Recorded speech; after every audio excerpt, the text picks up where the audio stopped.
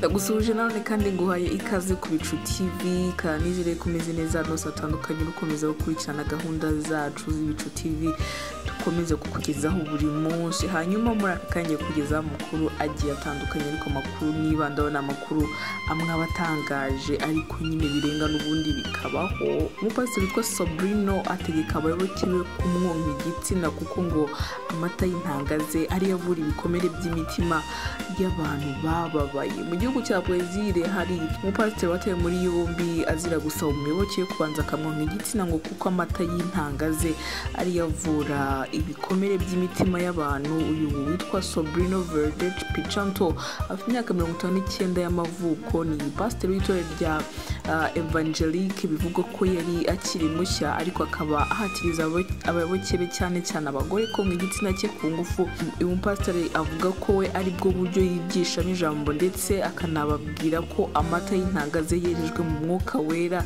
Ikinyamakuru voice dukesha inkuru kivuga ko mu kwigisha kwe avuga ko ibice bye by'imyororokere uh, ngo byahawe umugisha n'imana ko umukiza yamuremanye ngo amata yaturutse mu ijuru nk'umwuka wera cyangwa se umwuka mutagatifu. Kandi ko ngo bagomba kwamamaza ubwo butumwa mu bemera imana bose ku isi. Umuyoboke umwe yavuze ko um, yababwiye ko bazakizwa binyuze mu kunywa agira ati ngo yatwemeje ko nta handi hantu imana izanyuriza mu buzima bwacu uretse mu kunywa honyine. Akomeza avuga yuko ngo buri gihe nyuma yo guhimbaza pasiteri varadece yabasabaga gukora igikorwa cyo kumuganiraho ngo kugeza ubwo umwuka wera uva mu ijuru umanutse ukaza binyuze mu mbuto ndetse agatanga amafaranga ku rusengero.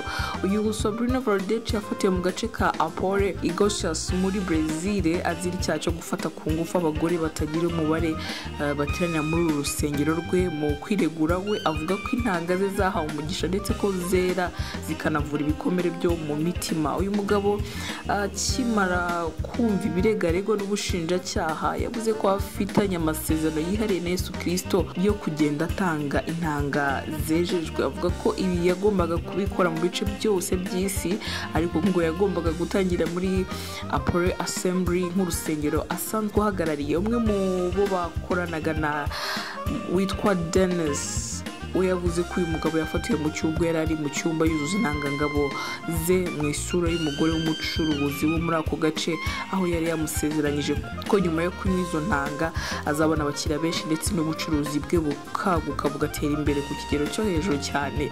Uyu denis akomeza avuga ko uyu mugabo atigeze ateza amahane ubwo inzego z'umutekano zamufataga ahubwo ko mu nzira bamutwara kuri icyiciro cya polisi yabazaga uyu mugore we bari kumwe nyine babafatanye niba nawe yumva yaba umwe mu baharanira ubwami bw'ijuru. Mu kwezi gushize hari undi mupasiteri wo muri afurika y'epfo witwa prophet mbolo ukomoka muri afurika y'epfo byatangajwe ko yazamutse akajya mu ijuru ku manywa ubwo amateraniro yabaga. Nyuma y'icyumweru kimwe uyu mugabo yagarutse yivugira ko yifashe amaselfi menshi ngo mu ijuru ngo na telefone ngendanwa yiwe yo mu bwoko bwa samsung galaxy ndetse ko aya mafoto yafatiye mu ijuru yaje kuyagurisha amadolari asaga magana atanu amadolari y'amerika yanavuze ko yasanze ngo wese ngo afite umugore w'umwirabura komana nanone mu minsi ishize ni bwo hasakaye inkuru zivuga ko umupasiteri utaratangajwe aho aturuka yasabye abayoboke be bose gukuramo imyenda bakegerana ngo bagakoranaho abasaba abari bateraniye mu rusengero rwe ko bagomba kumara ijoro ryose bari kumwe kugira ngo kugira ngo babone ngo umugisha ibi bikorwa bikorerwa mu nsengero zimwe na zimwe hirya no hino ku isi ntibikunda kuvugwa rumwe n'abumva inkuru zabyo cyangwa se n'abo banabikoreyeho babibonye. Rimwe na rimwe ahanini bishingira ku bavugabutumwa b'itangazamakuru bagamije kumvisha abantu ko ari abantu b'ibitangaza. Ibi rero bituma abantu benshi bakomeza kugenda bagurwa no kugenda bagana no kugenda bagana insengero rimwe na rimwe bamwe bagashaka no kubivamo. Nk'ejo bundi hano hari umupasiteri nawe ngo yazanye kokombure mu rusengero akajya atamika abagore n'abakobwa ngo bigishe uburyo bazajya bakora imibonano mpuzabitsina ngo bagashimisha abagabo babo. Ni inkuru yagiye icicikana ngira ngo ushobora kuba atari ubwa mbere nawe uri kureba iyi videwo waba uyumvishe kuko ni inkuru yagiye icicikana ku mbuga nkoranyambaga y'umugabo.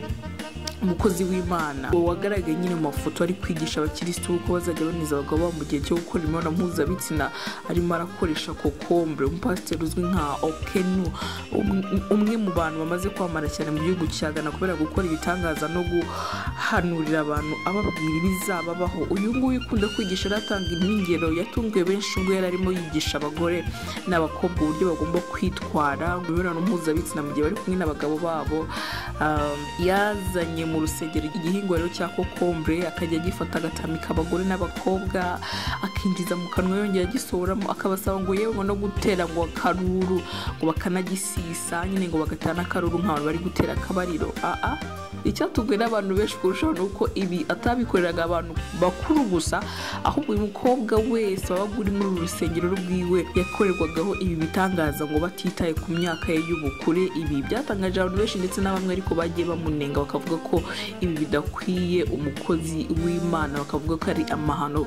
Bamwe bati bamwe bemera imana bati turi mu isi y'imperuka nikubwira kuri aba bakozi b'imana umuhanzikazi uririmba indirimbo zihimbaza imana we yasobanuye uburyo ngo gukora imibonano mpuzabitsina mu mwijima ngo bigire ingaruka eh, mbi ku mwana usamiwe ahatabona. Ni umuhanzikazi w'indirimbo zihimbaza imana pasies akapabio. Uyu yaburiye abashakanye ababwira ko gukorera imibonano mpuzabitsina mu mwijima bigira ingaruka mbi ku mwana usamiwe ahatabona uyu witwa pasiyanse amaze kubaka izina mu gutanga inama zifasha mu kubaka ingo.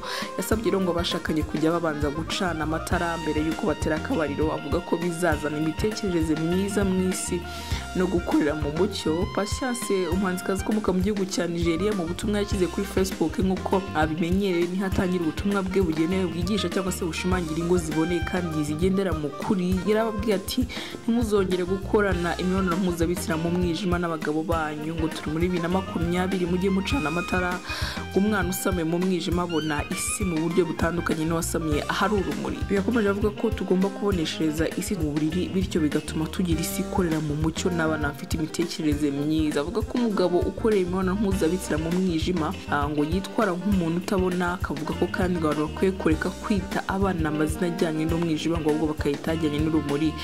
Ati reka ntituzongere kwita abana bacu ba okonu bisobanura ijoro ahubwo tujye tubita owana bisobanura umucyo. Okonu na owana ni amazina yo mu rurimi rw'ikiyoruba rukoreshwa muri afurika y'uburengerazuba ni mu bihugu bya nigeria togo na benin. Pasiyanse akabobiyo rero yasoje ubutumwa bwe yongera kwibutsa abasore n'inkumi ko bo icyo basabwa ari ukurinda ubusugi n'ubumanzi ngo kuko imibonano mpuzabitsina igenewe abashakanye gusa. Nikubwira kuri aya makuru kandi nagiye kure y'abakozi b'imana kandi witwa TB Joshua we yatamaje umusore n'inkumi bari baje mu rusengero rwe ari indaya. Ni umuhanuzi ukomeye cyane mu gihugu cya Nigeria nawe witwa uh, TB Joshua. Yatamaje umusore n'inkumi baje mu rusengero rwe rwa Church of All Nations. Bashaka gusezerana yarangiza akababwira ko bagomba kwiyeza kuko ari indaya.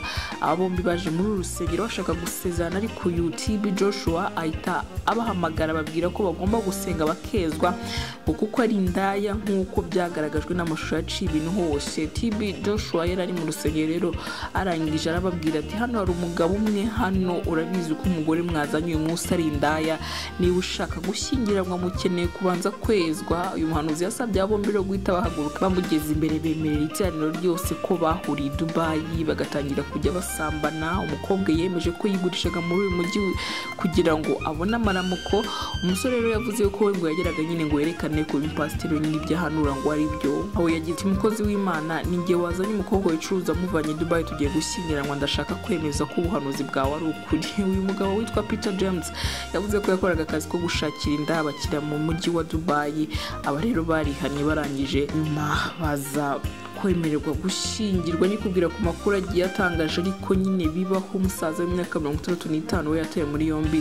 Akekwaho gusambanya inkoko y'abandi kugeza ayishe ni umusaza witwa Pius Mwendo. Uyu usanzwe ari n'ikigo cy'amashuri cya Kawati West mu gihugu cya Kenya we yagejejwe imbere y'urukiko kuri uyu wa kane w'icyo cyumweru dusoje azira gusambanya inkoko yari ya nyir'inzu yaracumbitsemo kugeza ayishe. Mwendo yagejejwe imbere y'urukiko rwa Makadana Makadana gatandara nyuma yo gufatwa kuwa mirongo itatu mutarama asambanya inkoko ya nyiri urugo yari acumbitsemo witwa francis waweru biyiviramo gupfa. Nyuma yo gusambanya inkoko uyu musaza yatawe muri yombi agezwa imbere y'urukiko ariko umucamanza abaza kubaza ko bamusuzuma bakareba niba nta kibazo cyo mu mutwe afite. Ah, mwenda yavuze ko iyi nkoko atigeze ayisambanya ahubwo yayishe by'impanuka ndetse avuga ko yemeye kuyishyura. Iyi nkoko ariko yafotowe ikimara gupfa ndetse na veterineri yayifashe ibizamini kugira ngo arebe niba koko mwenda yarayisambanyije urukiko rwaje kurekura uyu musaza nyuma yo gutanga ingwate ibihumbi ijana by'amashiringi ya kenya ariko urubanza rwo ruzasuzumwa ku wa mbere nyakanga bibiri na makumyabiri. Undi musore we nawe yafatiwe mu cyuho yimwa ihene y'abandi. Umusore w'umunyanigeriya wo mu gace ka adu ekiti gaherereye muri leta ya kiti mu gihugu cya nigeria we yafashwe n'abaturage asambanyiriza ihene mu nzu zituzuye. Uyu musore yavuze ko yitwa peter david. Yabanje gufatwa n'amashusho asambanya iriya hene mbere yo gutegekwa gukomeza kuyimya ubwamugwaga gituma yiri hejuru. David yasobanuye ko atari ubwa mbere yari yimije ihene ngo kuko no mu gihe yabaga hitwa akureho muri leta ya ondo yajyaga zisambanya mbere y'uko yerekeza muri ekite aho yari agiye kwiga ubukorikori. Muri iyi videwo yaciye ibintu ku mbuga nkoranyambaga david yemereye ko yabanje kwirukankana iriya hene hanyuma bagera mu nyubako itaruzura akayihasambanyiriza uyu musore yagize ati nyibona ihene narayirukankanye ndayifata nyizana muri iyi nyubako tuzuye kugira ngo turyamane. Umugore wafashe amashusho ya david asambana asambanya ihene yumvikana muri iyi video avuga ko ihene yasigaye imeze nabi ku buryo yashoboraga gutambu no gutambuka bitewe n'uko yasaga n'iyacitse intege. Hanyuma umupolisi we yaciye ibintu kubera ukuntu yagiye hejuru y'imodoka kugira ngo ahane shoferi wari wanze guhagarara. Ni mu gihugu cya nigeria hagaragaye umupolisi wari wanze imodoka kwimucika adahanye umushoferi niko kwirira imbere kugira ngo itamucika. Ni umupolisi wahuye n'uruva gusenyera rw'umushoferi w'imodoka yari ahagaritse yangaga guhagarara niko kwijugunya kuri iyi modoka yanga kwimucika ubundi mu gihugu cya nigeria abashoferi bamwe na bamwe ntibumvikana na polisi aho ngo bakunze kuyihohotera ariyo mpamvu n'uyu yahisemo kugonga umupolisi n'undi nawe akurira imodoka nyine. Bamwe mu bapolisi bo muri iki gihugu bakunze gushinjwa guca amande aremereye abashoferi na rubanda bishe amategeko bamwe rero mu bashoferi iyo bafashwe na polisi muri iki gihugu bahita ba- bafumyaho bakiruka batiteye ku bihano bashobora gufatirwa nyuma. Muri aya mashusho yakwirakwiye ku mbuga nkoranyambaga y'umupolisi yamaze umwanya munini ari hejuru y'igisenge cy'imodoka y'uyu mushoferi. Umushoferi rero ngo yanga guhagarara akomeza gutwara umuvuduko kugeza ubwo umupolisi yihenyetse mu ruhande kugira ngo atikubita hasi bakamugonga. Iyi ni ibicu tv ndagushimiye nawe uramutse ufite igitekerezo cyangwa se ikibazo cyangwa se n'inyunganizi byose ubisigiye muri comment. Hanyuma ntibagirwe gukora subscribe niba utarayikora mbonera nshimire nawe wayikoze. Ibihe byiza.